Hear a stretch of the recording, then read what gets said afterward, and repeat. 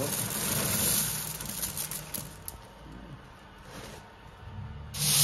Надо ему дать поработать, он новый. Но он притрется, не будет потом пылить.